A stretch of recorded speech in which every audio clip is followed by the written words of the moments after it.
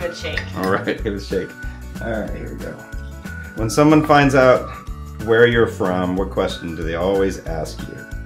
Well, being from the great state of Indiana, everybody always asks me if I played basketball, and the answer is yes. Are you good at basketball? No comment.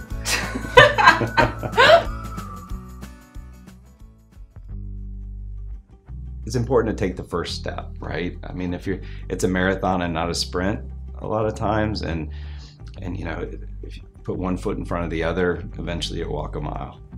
And I mean, I think that's what people should know. It's scary for many of our patients. It's their first foray into healthcare. You know, all insurance, all these different things become very new, but just put one foot in front of the other.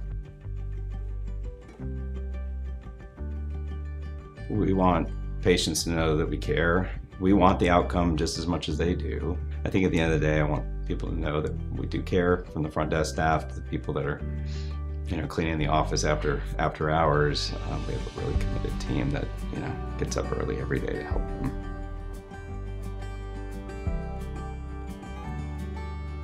What I love most about my team is their commitment. I mean, they work really, really hard, and you know, I, I think what many don't know is that many us and this clinical team have been through some degree of you know fertility journeys of, of, of, you know their own. So i think people know uh, like our team knows what it's like to be you know taking care of people.